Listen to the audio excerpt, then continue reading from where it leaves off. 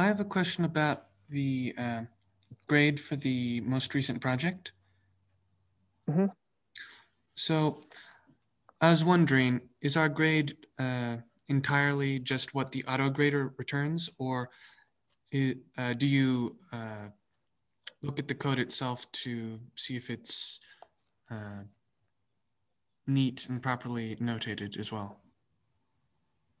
Uh, I'm gonna just go. So the question was, is the grade from the auto grader your grade on the project? The answer is yes. Plus whatever corrections for the RAND thing. Um,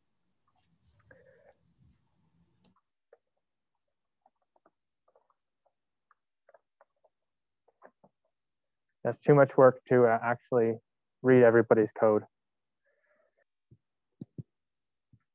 Oh, thank heavens. Okay. I think you guys can see that, right? Yes, we can. Okay. That took long enough. Okay, um, let me make sure there's nothing that I wanted to say at the beginning of class.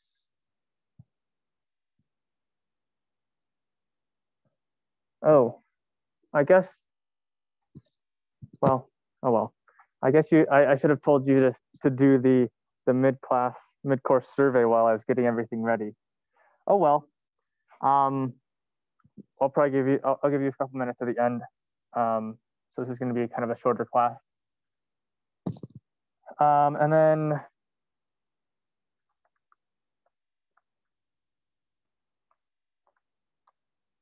there's the next thing that that'll be due is, is homework two, which is due on the 5th. So that's a week and two days from now. So just be aware of that. All right. Well, that took long enough. Um, and we'll, we'll see how this goes. So, so last time we, we finished up talking about this, this problem with virtual caches. So, so the first problem that we saw was just the context switch problem where two programs could be trying to access the same virtual address, even though it's a different physical address. And so um, in this situation, the mitigation would be to just flush the cache uh, when you context switch.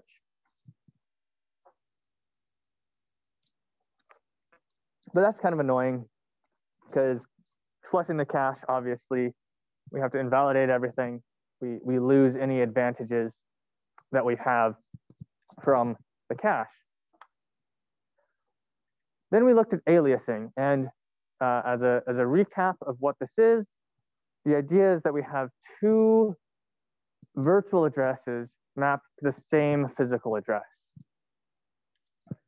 Here in our page table, we have, for example, OX1000 and OX2000 both pointing to the same physical memory address.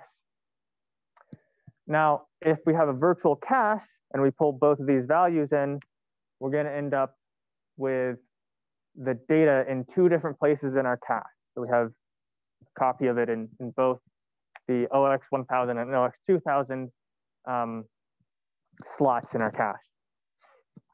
The issue is when we store a new value, for example, we store B into OX1000, it, it should update both of them because they're pointed to the same memory address, physical memory address, but it won't because uh, it's a virtual cache. We're dealing with these virtual uh, uh, addresses rather than the physical addresses.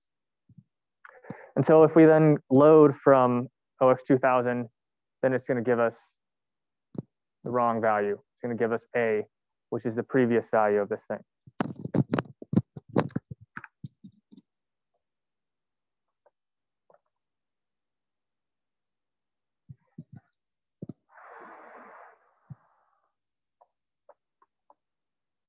Let's see.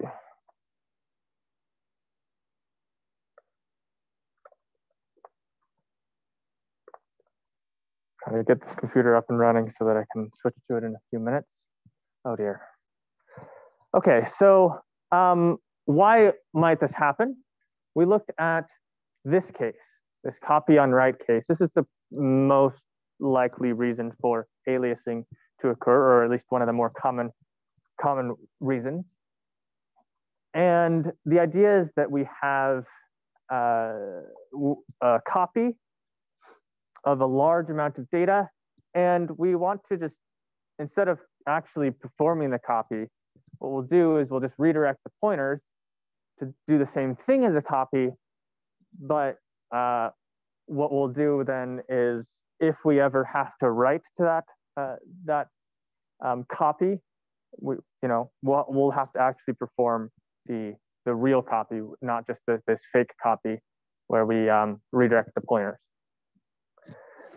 Uh, and th in this example, we're copying from A to B and we're copying a whole lot of memory.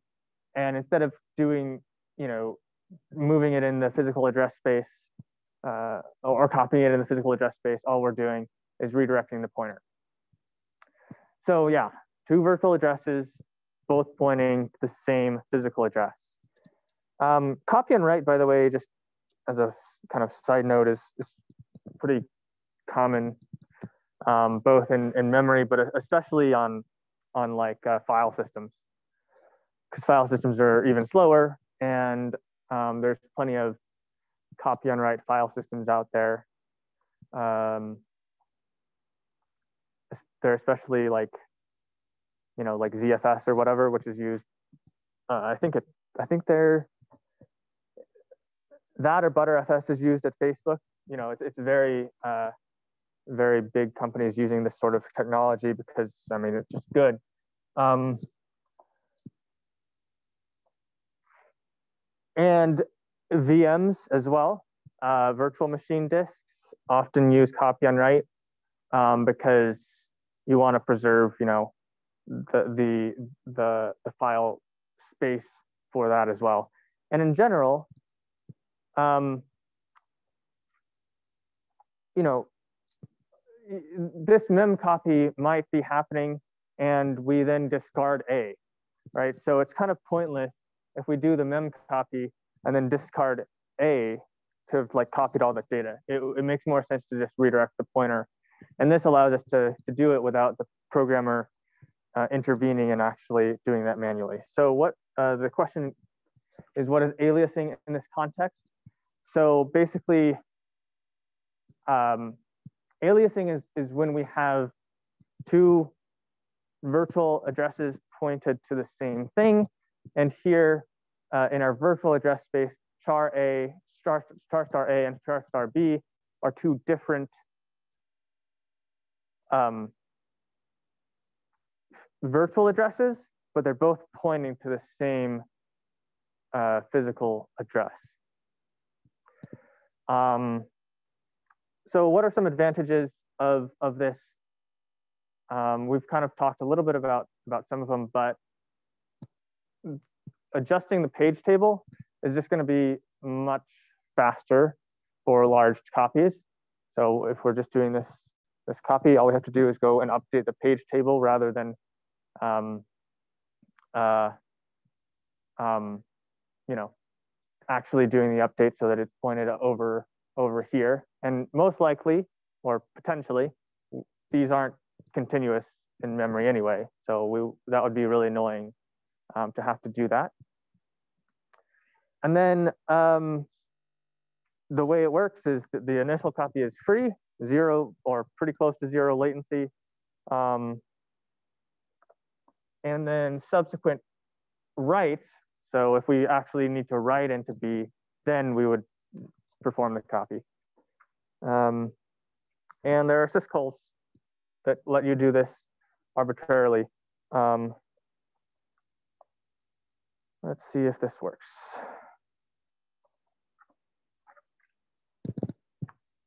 Okay, any questions? Did I answer your question, Wyatt?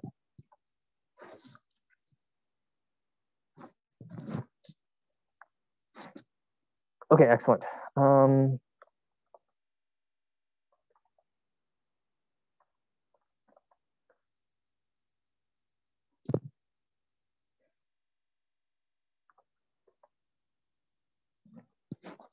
what's going on with with this.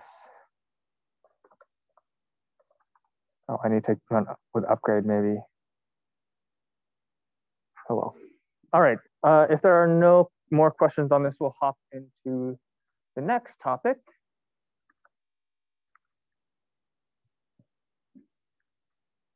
Which is pipelining. So um, if you, if you notice, uh, the wrong lecture number. Sorry, I just copied, I'm using Dr. Wu's slides because there's a lot of diagrams and I didn't want to like transcribe any of them and it wasn't actually that useful. Um, and our slide numbers are offset by one because I split lecture three into th lecture three and four. So sorry about the, the lecture number being a little bit weird. Okay, so let's review what is what is pipelining, and then we'll we'll uh, we'll talk about pipelining hazards, which are kind of the, the pitfalls that we might run into uh, with a pipelined context. Okay, so let's pretend it's laundry day, and we want to do our laundry. Um, there's kind of four steps. Um, we put the dirty stuff into the washer. When the washer is done, we put it into the dryer. It dries it, and we take it out and we we fold them. This is the third step. And the fourth step um, is we have to put the clothes away.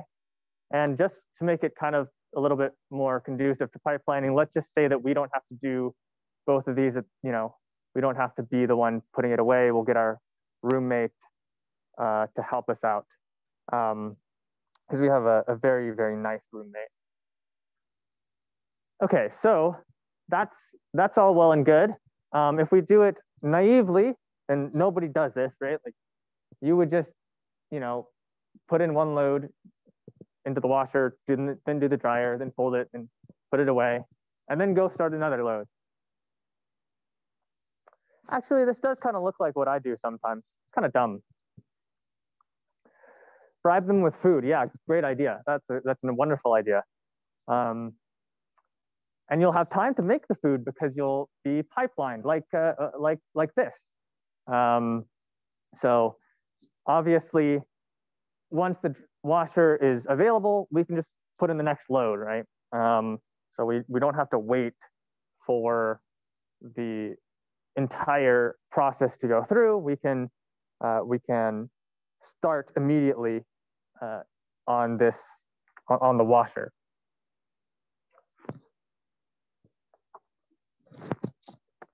And the same goes for the dryer and folding and putting stuff away, right? Assuming that we have our, our roommate helping us. Now, um, this allows us to basically do four loads at a time, right? So once we've once we've gotten started, let's say that we have like infinite loads of laundry or pretty close to infinite loads of laundry, we can have four of them going at once.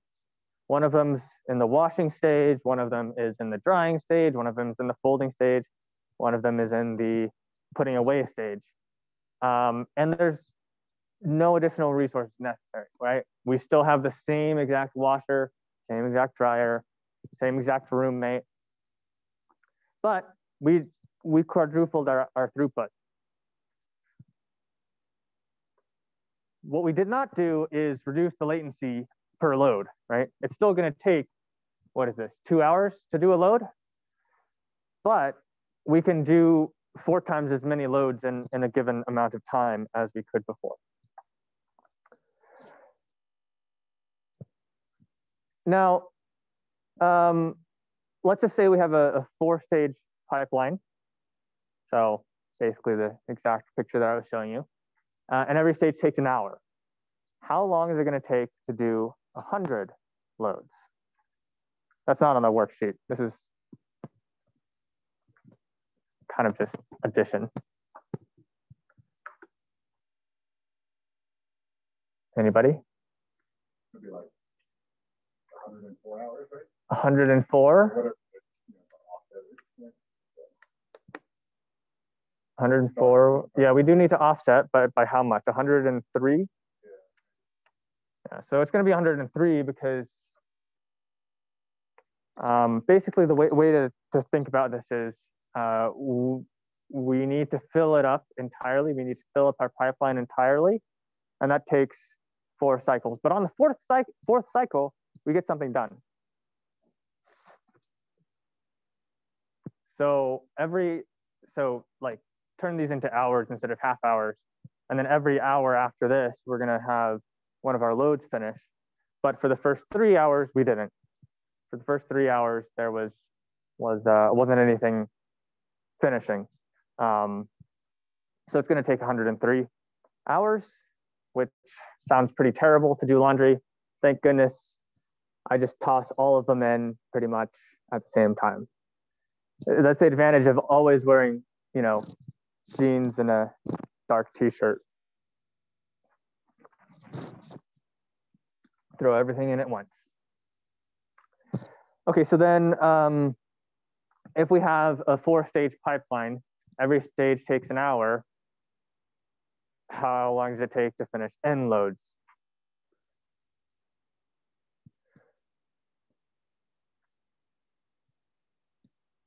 N plus three.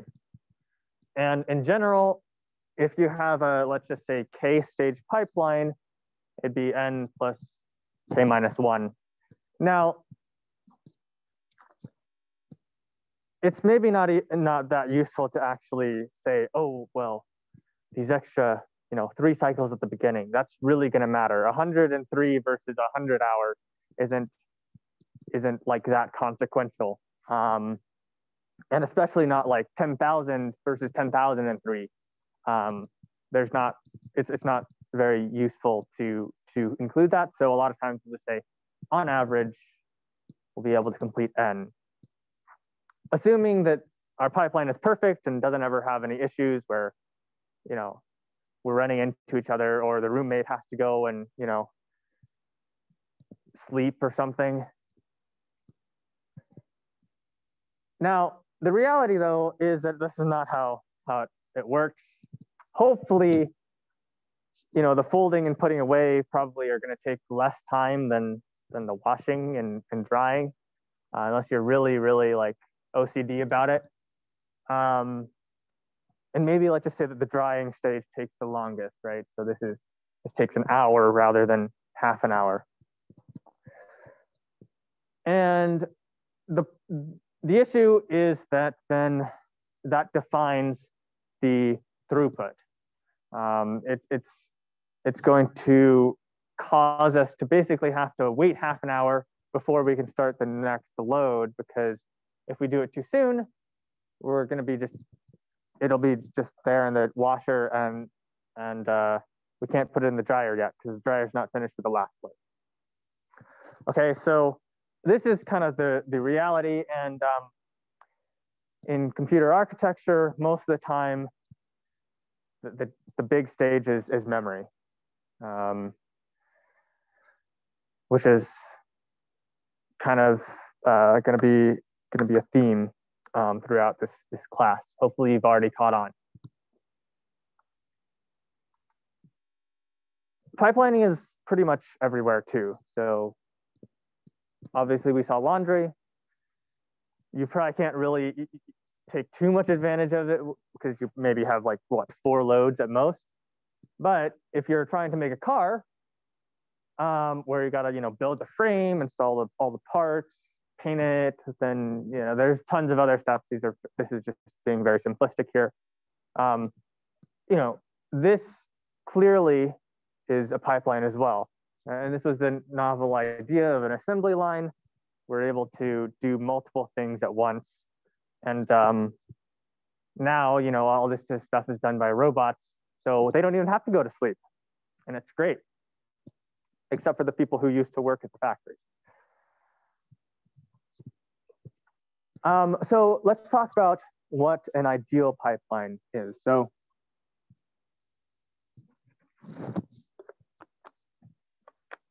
ideally, everything goes through the same stages.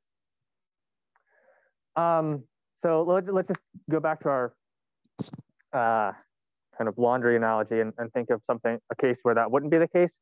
Maybe we are, are washing um, kind of a nice shirt or something, and we don't want to put it in the dryer. So we like, it has to go off and do something else, like get ironed or something. Um, and that's, uh, that's annoying. We, that's not ideal. Um, also, we don't want any sharing of resources between the stages. So like the washer washing example is really nice because we don't have to share anything, assuming we have a roommate. But if we do have a roommate, then we are sharing resources between the folding and putting away stage because you have to do both. Additionally, the propagation delay um, through all pipeline stages is equal in an ideal case. And this basically means the time it takes for each stage is the same. Like we don't want to be in the situation where we're waiting for the for the dryer to finish, for example, while we're we're totally done folding up all the laundry.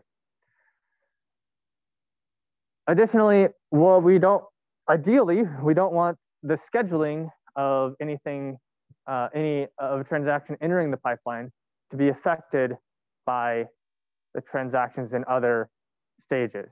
So ideally, you know, um, we all we don't have to think about whether or not we should put something into the pipeline or not. And obviously, this is kind of you know this is the case with laundry because it's just laundry. But if you had something crazy where like I don't know, uh, if during the folding stage, like you had to do some calculation of which clothes to put that back into the to the washing machine, which sounds crazy, but like just bear with me. Um, then then that would be an issue. Um, you wouldn't know. You'd have to go all the way to the folding stage, and then you'd know which clothes to put in next. Did that answer your question about propagation delay, Wyatt? Okay, so this is what computers do. It's very, uh, or well, this is a fairly simple execution cycle, but it's the one we'll, we will work with. There's, there's five main steps that we have to do, and we'll, we'll see in a, in a couple sec minutes here that this can be pipelined. So the first step is instruction fetch. We need to find out what operation we need to actually perform.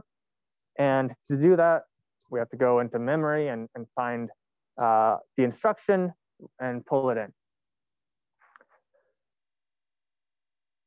The next thing we have to do is we have to uh, decode the instruction. So we have the instruction in you know some buffer. Now we have to actually read it out and get the values from it. Um, and we also have to grab any of the, the operands from the registers. Uh, so if we have an add, add R1 plus R2, we would have to go fetch R1 and R2 so that we can put them in to our addition logic later on, which is step three. So this is the execute step where we actually execute the addition or calculate the memory address. Um, if we have the memory offset or something like that. So that's step three. Then we have to actually go out and get the data from memory. If, if we have to, maybe we don't have to, maybe it's just an add and you know, all the data is in registers already and we don't have to do anything on this step. That's always really nice. And then the last thing is we have to store or write back any result to, to the register. Um, so if it's a memory operation, we would have to get the memory, uh, uh, um, the value from the memory address and, and put it back into the, into the register. Or we might have to, if it's an add, for example, we would have to take the calculation and store it back into, into the appropriate register.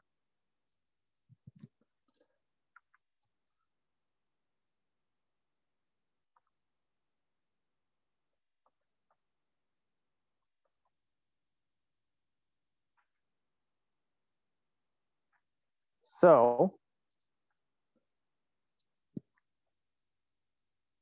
let's talk about MIPS, which we talked to, which we uh, we had an overview of a couple weeks ago now. Um, it goes through these exact exact same steps, and we'll we'll kind of just dissect uh, uh this diagram, uh, which which um, kind of shows an, a simplified, unpipelined data path for MIPS. And let's just look at a high level. Um, we'll ignore all the lines for, for a moment. But uh, what we see here is instruction memory. So this is where we're getting the actual instructions we want to execute. That's this first this first step. We're we're fetching stuff out of this instruction memory and then putting it through all these, you know, circuits and everything. Um, in here, kind of in between this this muxer here and, and this uh, um, uh, uh, register file, we are grabbing the values that we need for the operand. And then down here, oh, and that's that's this step here, step two. Then our third step is over here, where we actually do the addition um, or multiplication or whatever operation in the um, ALU.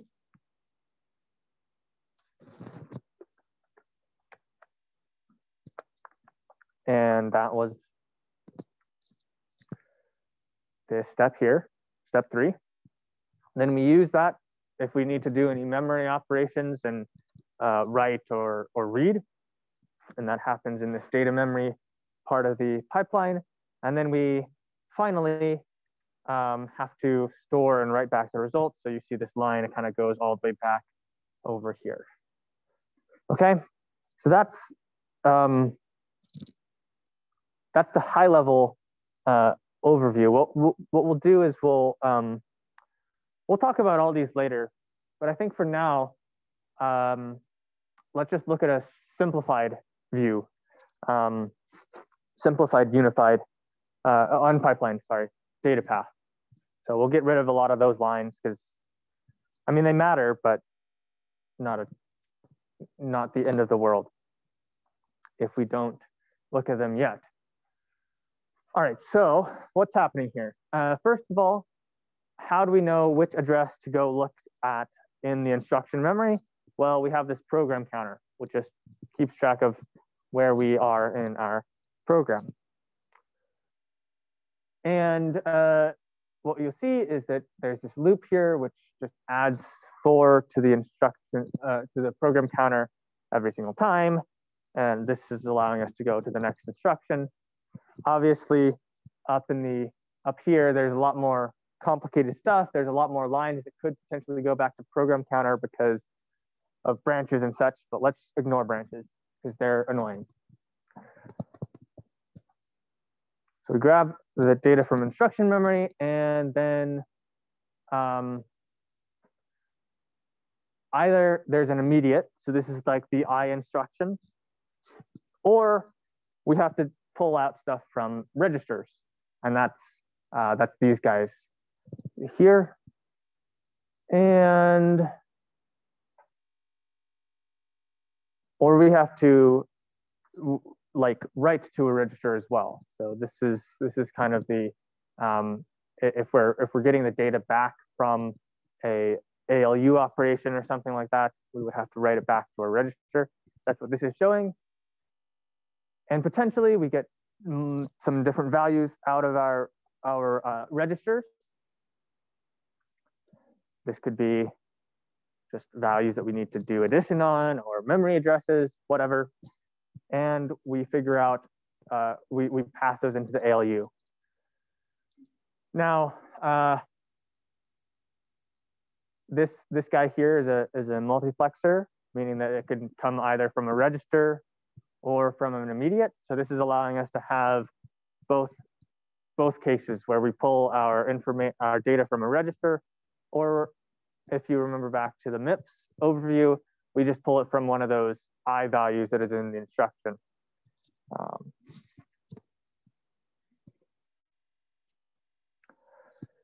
so then we go out to memory with the address um, that we got from the calculation in the ALU. Um, and we will read that or we will write the data from some register to memory. So these are the two options for, for what we could do here. And then lastly, if there's anything to write back, we'll, we'll go back around and, and put it in the register. Oh, and, and also if we don't have to do any memory, we'll just bypass it down here. Again, another multiplexer so that we can figure out which thing to write back. All right, any questions on this? Can you repeat the last thing you said about the multiplexer? Mm -hmm. Okay, so this last multiplexer here. Yeah, just like okay. repeat the last sentence, sorry. Sure, sure, no worries. Uh, so basically, um, this multiplexer is selecting what we want to write back to our register file. Um, so this the output is, is this arrow, which goes all the way back and writes a value to a register. And the two things that we can select are either the output of the ALU operation. So this is like if we do an add, and that's all we need to do, then we would just loop it down and around over here. Um, and we would select that. We wouldn't worry about anything from memory. However, if it is a memory op um, that is a read, we would we would pull in the read address um, or read data, the data from memory, and then that's what we would write back to uh, the register. Did that help? Yes, a bunch. Thank you. Cool.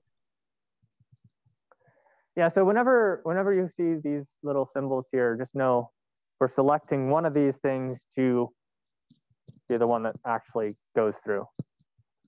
Um, like, so for example, this one here, uh, we're selecting either that, um, depending on the instruction type, we're gonna, the, the, the, place where we have to write the data back is different. Um, and the, it's either, you know, the one of uh, the second or third field or whatever um, in your instruction is either another register for where to write to, or it's a one from where to one defining where you should read from. So that's just kind of how that's how that's working. Okay, um, so let's pipeline this. Let's use the steps that we defined over here and just add some pipelines um, so that uh, we can have thing, uh, multiple instructions going at the same time we kind of uh, on the last slide already looked at kind of the high level idea, but now we'll uh, not only just look at it, we'll actually use that high level idea, high level concepts to split up our execution into uh, five different stages. Okay, so we have our fetch phase. Again, this is where we go fetch the data from the instruction memory. We have our decode. So this is like this part here and then register fetch, which is, you know, grabbing stuff from the register. And then we have an execution phase, phase, which is our ALU operation. And then we do our memory phase, which goes and uh, grabs stuff from memory. And then our last phase is the write back phase, where we loop back any data over to our registers. Now, if you notice between these two slides, in addition to some gray lines and some extra text, there's also these blue things here. So for example, this one here, oh dear, these ones here. And these are basically just buffers to hold the data before the next stage starts. Because it would be really bad, for example, if like, let's just say the decode and register fetch phase was really fast. And then it just started shoving data into the ALU before it was done. That, that wouldn't be ideal. So we, we have to buffer um, between the, the phases.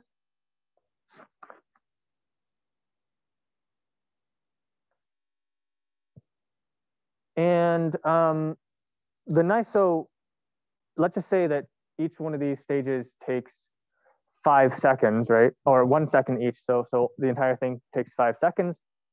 Well, if we had, um, if we weren't pipelined, if we were in this situation, we would have to have a one cycle every five seconds. Whereas with the pipeline, we speed up our clock cycles. Um, so now we have one cycle per second. And, and uh, so our, our, clock cycle has increased or our, uh, our cycle time has decreased, but our, our throughput is still the same. But uh, as we mentioned before, most likely these are not equivalently uh, sized as far as latency goes. So um, our actual clock time is going to be whatever the max of all these things are. And it's, it's most likely your memory phase.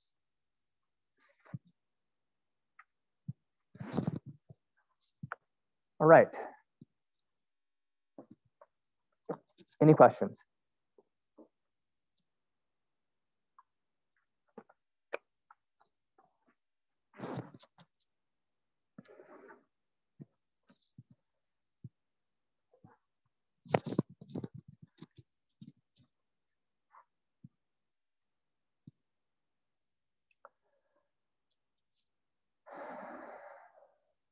Okay.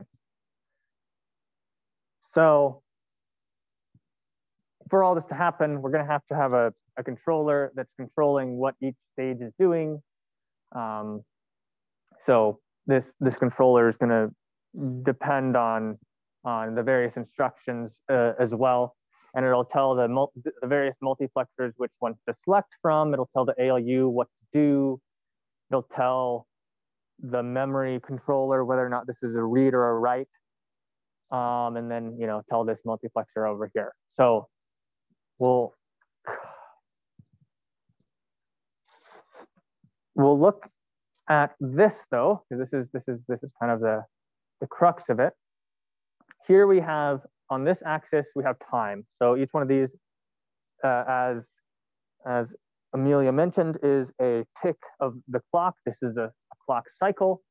And in clock cycle zero or time zero, we can run the first part of our first instruction, and that's our instruction fetch. So this is the nomenclature we're going to use. IF is the instruction fetch phase, ID is instruction decode, EX execute, MA is the memory, and then write back. So time zero, we can run instruction fetch for the first instruction. Then we move on to the next cycle. That data has now gone into the, the code and register fetch phase. So it's in the ID phase on, on T, T2 or T1. Um, and then we can, the, the fetching logic is available. We can just go ahead and fetch, um, fetch instruction two. And once we've done that, the next cycle now instruction one is over in this phase, instruction two is over here, instruction three can be, be fetched, and so on and so forth. And eventually we'll have, after four cycles, on the fifth cycle here, we will actually have our um, uh, pipeline full. So every bit of our pipeline is being utilized by some instruction. Um, the fifth one is being fetched while the fourth one is being decoded, while the third one is being executed, and the second one is doing its memory stuff, and the first one is writing back. Okay, so this is this is the idea, and this is the ideal case. Unfortunately, the ideal is well, there, there's problems with it, and we'll talk about them.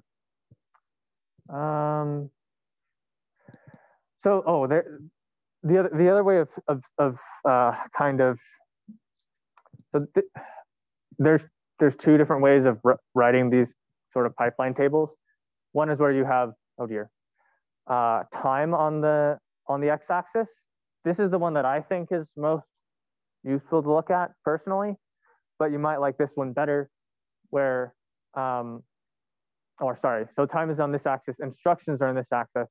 Um, that you can also have time on, on this axis and then have the different resources. So your different uh, stages of your pipeline on this axis, the y-axis. Um, and it's kind of the same thing. You're seeing that, oh, on time zero, instruction one is being uh, fetched, instruction two is being fetched at time one, etc. And it's just kind of like diagonal. Instruction one kind of goes through the pipeline like this. Instruction two goes diagonally like that, so on and so forth. Um, it results in the same thing, right? You, you're full at time four and you can kind of see what's being executed. I just think personally, this is what makes more sense to me, but totally fine if there's something else that makes sense to you or this one makes sense to you. All right. So there's some problems. Unfortunately, computers are not doing laundry. Um, well, actually, I guess they kind of are with robots, but not this low level. Um, we have a bunch of problems with our pipeline because instructions are going to interact with each other. Um, and there's there's three main hazards is what we're going to what we call them uh, that can cause our pipeline to have issues. Okay, so our first hazard is a structural hazard. Um, so this happens when we have an instruction um, that is needing a resource that is used by another instruction that's also in a pipeline. Okay, so kind of think of it like um, if you needed to wash your clothes twice in or like in two different parts of, of your washing clothes and putting them away pipeline, if you had to wash them twice in different places, I don't know, maybe it's like really dirty or something, that would be a structural hazard because you need it at two different times. That's also a really dumb example, but let's just go with it anyway. That's our first hazard. The second hazard is a data hazard. Um, this is when one instruction depends on data from another instruction. So um, a good example of this is, let's just say we have an addition instruction followed by, a, uh, and we put it in the result into R3. And then the next instruction needs R3 for, you know, I don't know, doing another addition or a multiplication or something. That would be a data hazard. Last hazard is a control hazard. And this is um, when the, the instruction that should be executed um, depends on a previous instruction. So if the previous instruction is a branch and it's like branch, if this register is equal or not equal to zero, well, we need to know uh, we, we need to know which instruction to fetch. And that's pretty hard if we don't know the result of the branch yet. Um, so this is a control hazard. And those are the three hazards that we're gonna have to deal with. And we'll, we'll talk about each one in turn. Any questions so far? I have a question. Why can you not load the shared library? Whatever. Um, my computer is having a having a bad day. I'll need to look at that. Okay, so let's talk about structural hazards. Our first structural hazard that we want to look at is the fact that we have unified memory. So if you notice, there's memory here, and there's memory here.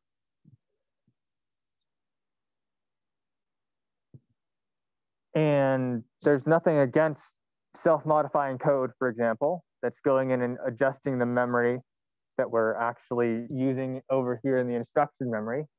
Uh, there's nothing against that in, in MIPS, so that's totally possible. Um, and, and really, you know, this looks all, all nice and pristine, but really it's, it's more like this, um, where we have a, a unified memory, which is, is dealing with both instruction and data memory. Um, and this is a problem. There's contention on our memory model module here. So let's fix that. And we'll make it, instead of one cycle memory, let's make it two cycles. Oh dear.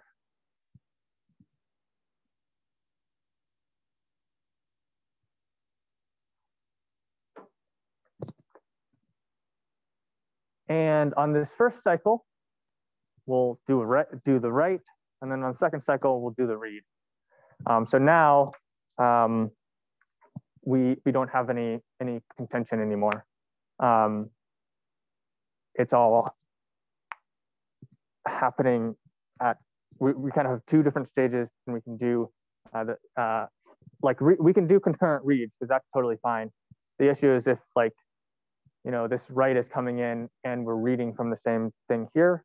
Well, now we just have done the write and then we, in the second part, we do the read and we can do that uh, read concurrently after we've done the, the write um, in our memory uh, uh, pipeline or pipeline stage.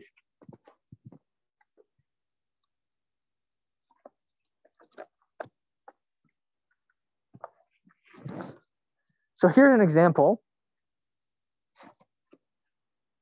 of the next, next hazard. So that's structural hazard. The next hazard is data hazard. So here's two instructions. We have uh, R0 plus R10, and we're putting it into register one.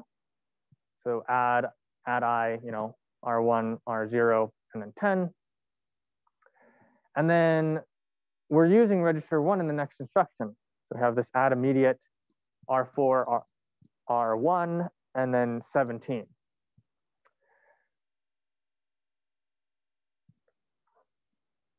Uh, obviously, this second instruction depends on the first instruction's result. Like it depends on R0 plus R10 to determine how, how much to add to 17. And this is a problem um, because I'm not sure what this, what I'm supposed to say about this diagram. But the problem is like, if, if you haven't computed this value yet, it's not gonna be ready. It's not gonna be in the register in time. Um, so you're gonna pull something stale most likely. Um,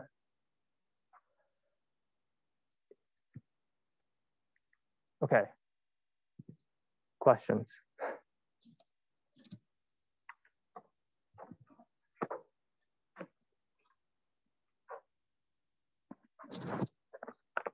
Now, let's talk about different kinds of dependencies we might have, okay? So the first dependency is the one that we just saw, where we do a read after a write. So we we write to some register and then we need to read out of it on the next instruction or some later instruction. This is a read after write dependence. The next one is an anti-dependence. So this is write after read. Um, so we we read R1 off R2. So we do some some operation in, involving R1, and then um, we put it into R3. And then we write to R1. So it's this write is after the read. Um, and it's really important, for example, when we talk about out of order execution, that we don't just be like, ah, we can put this one above. We can do the write before the read. Um, that's gonna uh, be, be kind of bad because we'll get the wrong value for this one. So that's uh, another dep uh, dependence that we have. Um, and then the last one is an output dependence. This is a, the, a write after write is the other terminology for it. And it's literally what it sounds like. You, you do some write uh, to the same register after you've written to it before. And throughout all of this all of the stuff that we're going to talk about, we need to ensure that all of these constraints are still met. So whatever we do, if the assembly code had uh, the read after the write, well, first of all, it needs to happen after, uh, after the write. And it also has to have the correct data from this previous write. If we have the write after read, we need to make sure that the read happens before the write. And if we have a write after write, we need to make sure that those writes are coming in in order, okay? Um, and this is, will be important as we're talking about pipelining. It'll also be important as we're talking about out of order execution. It's just pretty important to, to not have ish, you know, not have your dependencies get screwed up. Because we basically like the ideal here is that we, we make it look like we just have a non-pipelined thing. It looks like it's just executing one instruction, then it's executing another instruction, then it's executing another.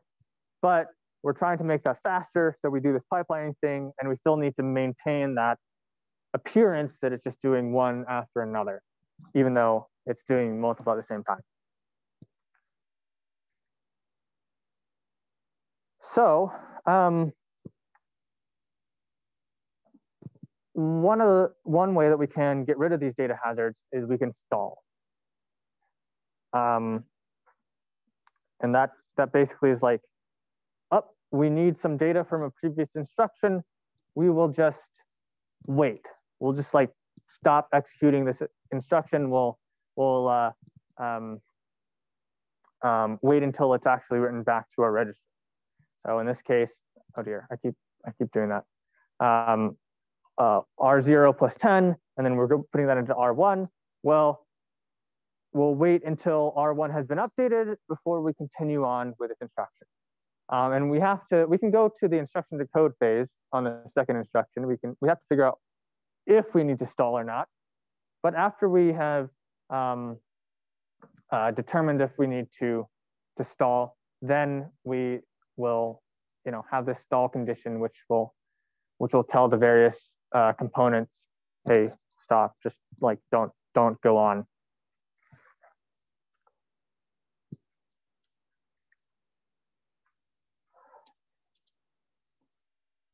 So um, unfortunately, you know, most of the, you know, adds are, you know, that's okay. We can we, we, we don't have to stall too much because we will get the data after the ALU stage. But what if we have some memory operation? Um, oh, oh, there we go. So let's just say we have some memory R1 plus, uh, uh, plus 7, and we, we're putting R2 into here. And then we do a read from memory where we have R3 plus 5, and then we're, we're putting that into R4. So the question is, can there be any data hazards with this instruction sequence? There's a hint up here. Is that going to be a data hazard if R1 plus 7 is equal to R3 plus 5?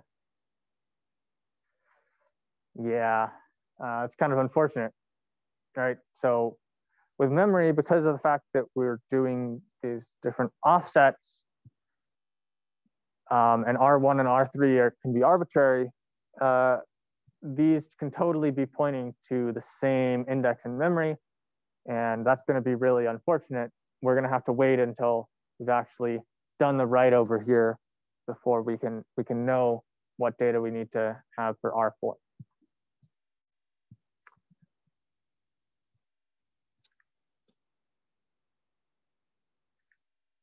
Uh, oh dear.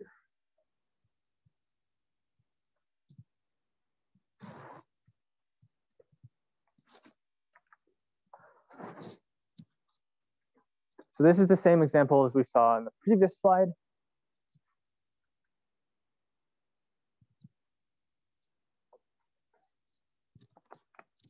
And written out a little bit more verbosely. Again, because registers are arbitrary, we can be reading to and from the same address, even though it may not look like it.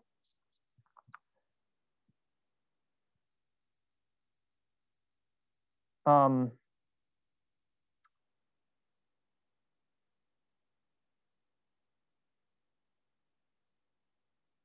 if we can complete the memory in uh, one cycle, um, then we'll be okay. Because with our pipeline, if we can, you know, write to write uh, on the on the write instruction, and then it's just done as soon as the next instruction, the read instruction comes in, we're fine. Um, the data has been updated. Uh, we can just pull it out of the, the memory. The issue comes with the fact that this isn't actually realistic. Most likely, um, any realistic memory system will, will, require more careful handling uh, of these loads and stores because of the, of the latency involved. Uh, we've already seen like, you know, if this is just L1 cache, probably okay. But if it's an L2 or L3, we would need to have something more intelligent. So um, the biggest thing that we can do is we can add bypasses. And these basically allow us to forward data uh, backwards through our pipeline um, to the next instruction. So going back to our R1 um, is equal to R0 plus 10 example, once we've computed that, we can just forward it all the way back to uh, our uh, instruction decode stage so that when it comes in for the next instruction, we can just use this new value, even though it hasn't yet been, even though it hasn't yet hit a register, we can still have the correct value when we do the execute stage on instruction two.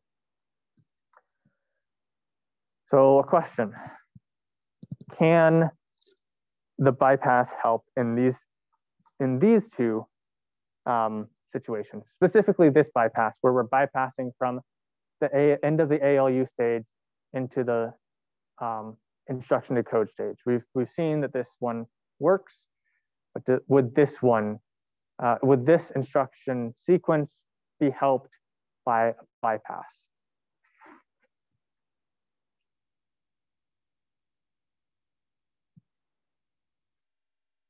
No. I have one vote for no. Any other votes? Okay, there's two more votes, a no and a yes. All right, great voter participation. Um, somebody who said no, why?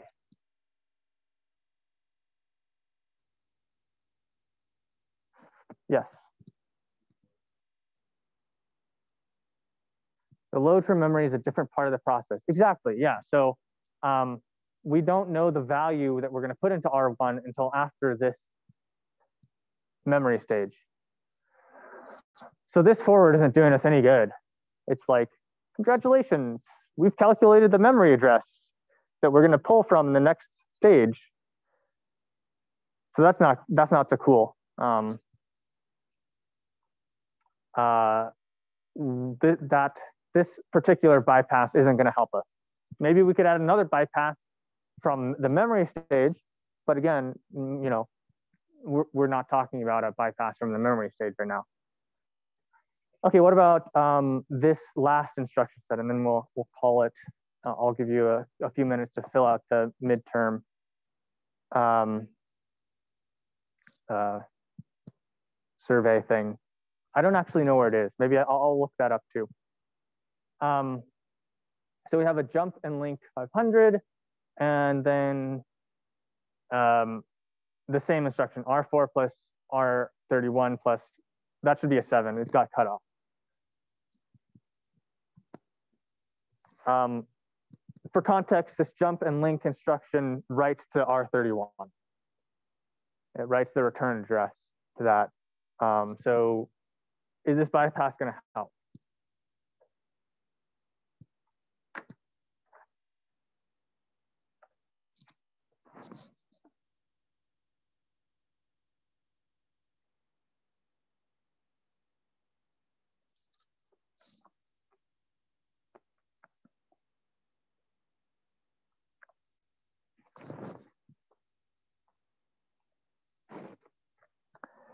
Yeah, so uh, it it's it's not really gonna help because um, the value of of this jump link is gonna is probably gonna be um, from uh, not gonna be written until this write-back stage.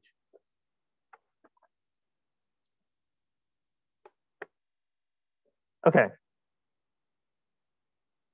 any questions? We'll do the worksheet next time.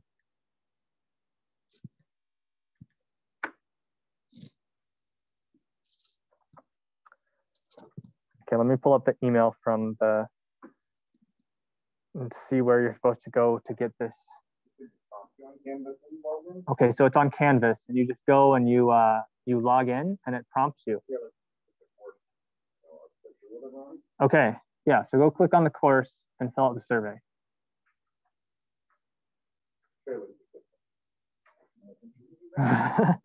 All right. Um, uh, we'll we'll call it there, and we'll we'll um, do the worksheet next next week.